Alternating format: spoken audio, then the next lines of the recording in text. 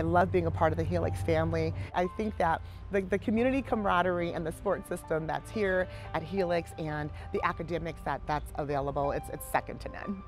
Everything we do is designed to focus on those students individually and what we can do to help them. I feel like the teachers here really treat you in a way that it makes you feel like you can do things on your own account. One of the things that I didn't um, expect was to fall in love with the staff so much. Uh, I made so many great, I call them friends, but in the most respectful way possible. I definitely will miss Helix uh, when I'm gone.